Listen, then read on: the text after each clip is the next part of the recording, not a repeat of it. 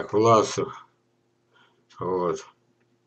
Теперь мы берем и читаем вот такое интересное письмо. Оно у меня почти залежалось. А оно интересное. Мне нравятся люди, которые умудряются э, думать. Вот один из них. Я, может быть, напишу глупость, но для меня ваше утверждение, что спящие почки недоразвиты, вступает в противоречие с вашим практическим советом брать для прикрепчено как можно ближе к основанию, то есть ближе к спящим почкам. Например, брать черенок с третьей, четвертой, пятой от основания почками. Вот. Кстати, заметьте, если черенок начинается с третьей почки, согласитесь, черенок, именно верхняя часть, согласитесь, что третья почка обязательно попадет под нож. Там, где будет то есть ее практически не считается. Согласны? То есть она никогда не будет плодоносить, не будет расти, потому что просто не будет. Косой срез ее уничтожает. Так? Четвертый может уничтожить. А может уже не уничтожить. Это зависит уже от расстояния между узлами и так далее. И вот, значит, так. Это первый такой момент уточнения. Но если спящие первые почки, первая, вторая недоразвитые, то следующие за ними сразу почки никак не будут самыми лучшими. Вот поверьте, самое лучшее, но тут есть одно из этих, один из секретов, который зависит так. Пока она средняя, но стоит только оказаться крайней, она становится самой лучшей. Я потом вам докажу. Они будут иметь переходную форму. То есть вы считаете так, первая, вторая, то есть первая, потом вторая, третья лучше, четвертая лучше, пятая лучше. В принципе, в принципе вы правы. Вот почему я, у меня у нас-то получается, вот эти попадают-то уже не попадает под прививку, так? Вот, так что между нами недоразумений нет. Пусть даже, а, а какие мы, а тут ниже фотографии. Вот. Итак, вы считаете, что они будут нечто среднее, то есть 3, 4, 5. Ну, могу повторить, что 3, 4, как правило, не участвуют в этом в будущем росте. Так, и вот у вас логика. Если это третья, четвертая, пятая лучшая, то первая, вторая должны быть чуть ли не самыми лучшими. Ладно, еще такой вопрос. Неужели дерево настолько глупо, чтобы резерв на случай своей гибели и возможного выживания в трудных условиях откладывать самые недоразвитые почки? Вот. Смысл тогда их вообще откладывать, если они недоразвиты и все равно не выполнят функцию спасения дерева. Ну, как же это объяснить-то?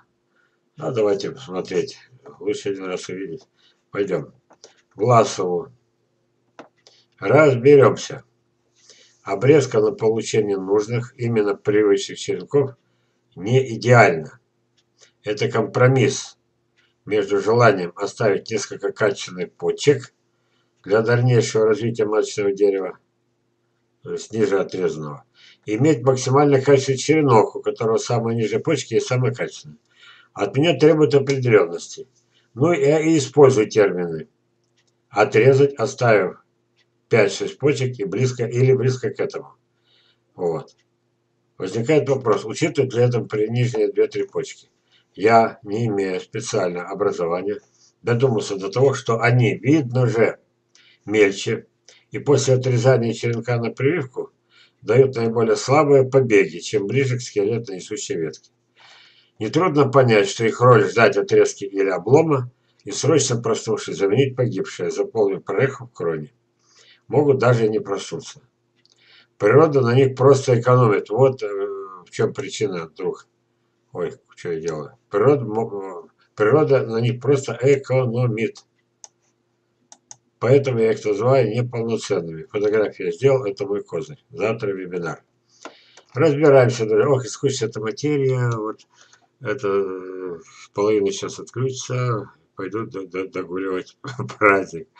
Итак, я заставил позировать Татьяну Александровну. Смотрите, вот здесь вот примерно э, ниже 5 почек. Вот здесь вот, да. Я хочу, чтобы когда она отрежет, есть две роли низа и верха. При этом у них совершенно разное предназначение. Здесь самый нижний фрагмент, это будет лучший, лучший саженец.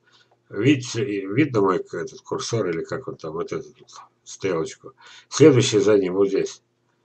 Тоже самый лучший, практически неотличимый. Здесь э, должен вырасти саженец, ну, помельче, еще мельче. А остальное просто выбрасываю, потому что хороший враг лучше, вы это понимаете. Теперь возьму вот этот кусочек. Мне нужно, чтобы я, э, допустим, мог бы сказать, давайте отрежем вот тут. Вот где тень, вот видите тень, вот граница вот тень. Давайте отрежем тут. Тогда вот эта часть будет привита. И это будет еще лучше, чем вот это. Потому что захватит на пару почек ниже еще лучше. То есть, э, получается, верх, враг низа. Ну тогда здесь-то остаются почки. Они пойдут в рост, но уже такими мощными, как вот эти две, которые вот в тени. Примерно там их две получается компромисс. Или оставляю самые мощные, вот они, вот, вот где тень, есть самые мощные. Или вот так вот они пойдут мощно. Так. Но тогда вот этот э, чернок, не, ну, он полноценнейший, но мы все говорим в принципе, называя 3 почку номер, почку 4, почку 5.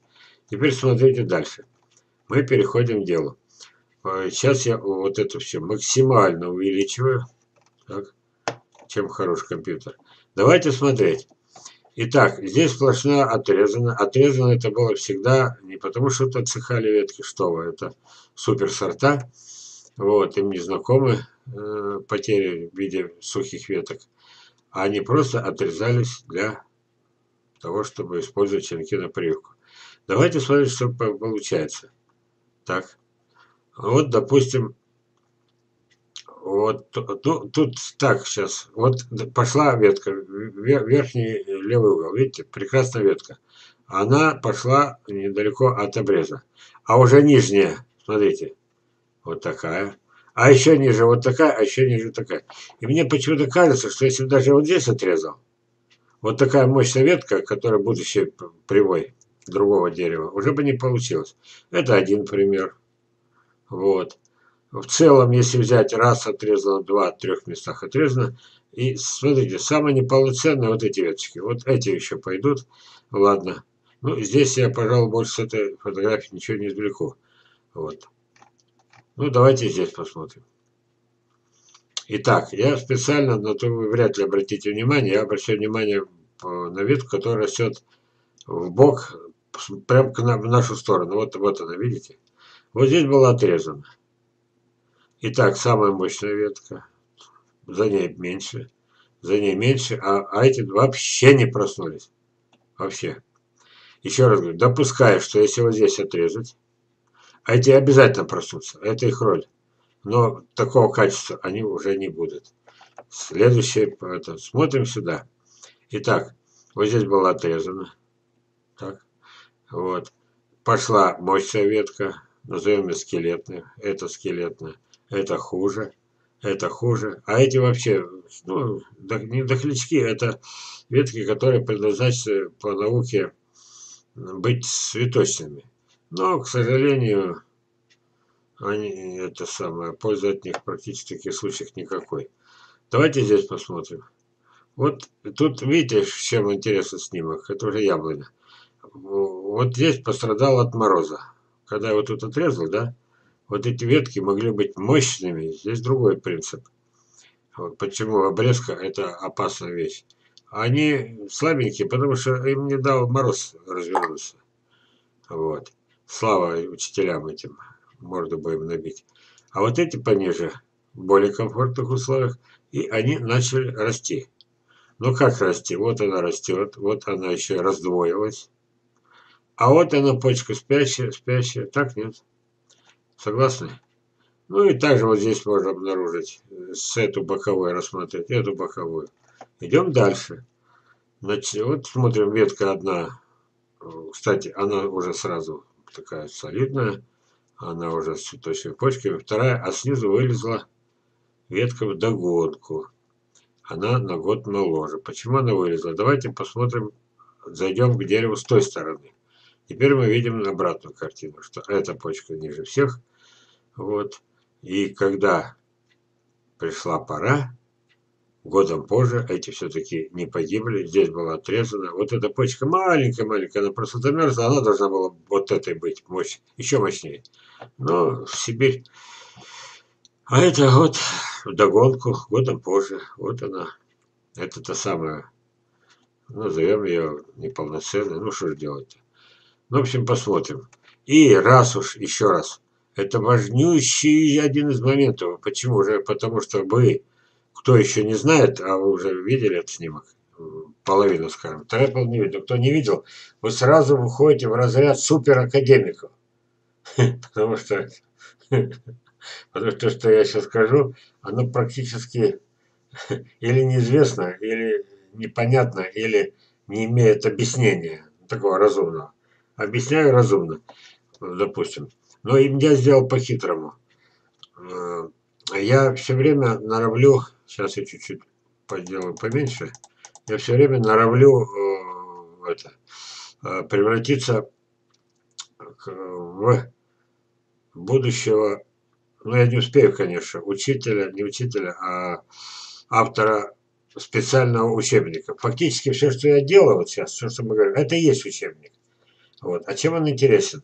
Итак, попробуем. Тут недавно показали э, в этом самом Яндексе состав нового Министерства просвещения. Теперь я понял, почему у нас дети с каждым годом не умнеют, а тупеют. Это ладно, я увлекся. А если ошибся, пусть они скажут, да, мы посмотрели, мы согласны. Мы начнем, начнем работать в этом направлении. Итак, представь себе, что э, я преподаватель и в одном лице, и студент, который должен по такой снимок, это еще методика Железова. Она заключается в том, что студент, видя вот это вот, должен толково объяснить, получить 2, 3, 4 или 5. Естественно, никакого дебильного ЕГЭ, потому что если на ЕГЭ это самое, э, начинать это все объяснять, то это, это ЕГЭ получается дебильное. И вот на разумное объяснение.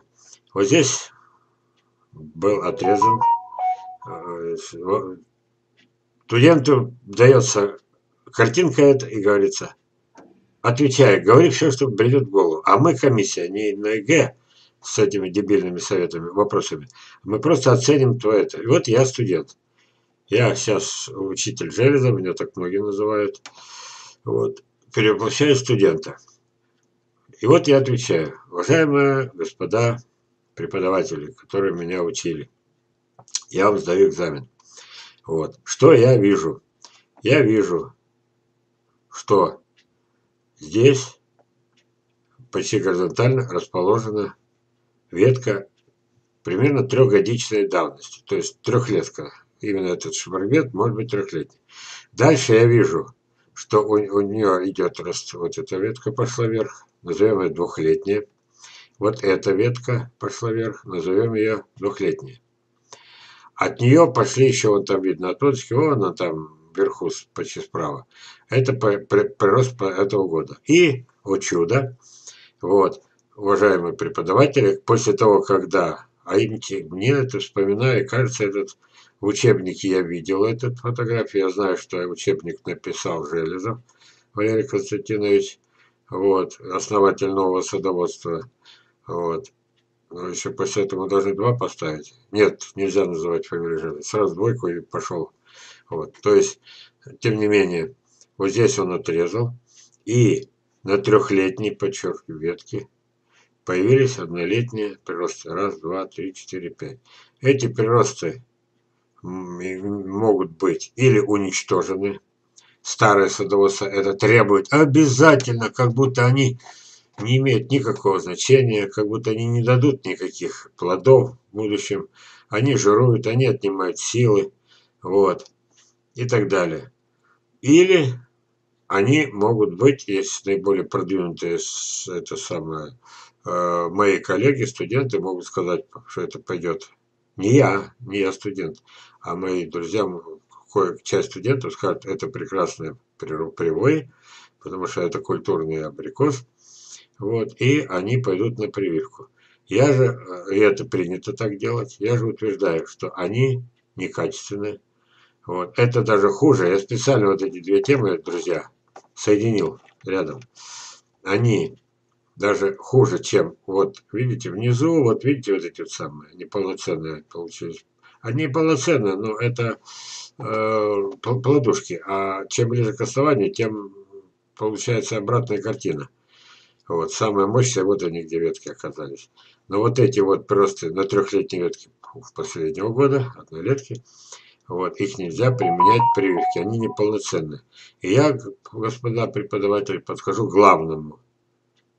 А главное заключается в следующем. Вот эти вот два побега, двухлетки, они естественные, они выросли из почек.